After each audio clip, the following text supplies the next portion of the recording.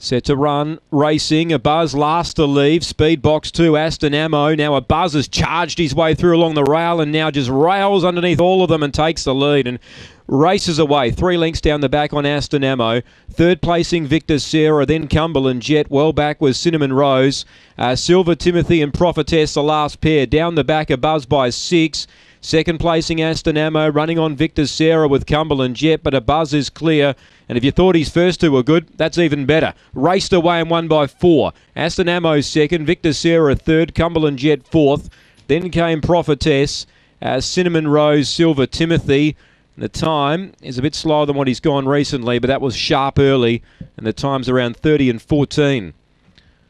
Number seven, a buzz. Gee, the acceleration after beginning poorly. He excelled underneath of them.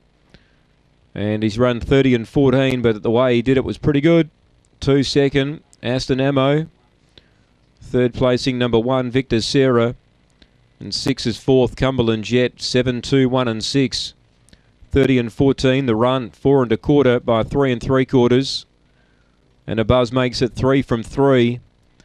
He was tardy away, but he just charged through along the inside and said, Get out of my way.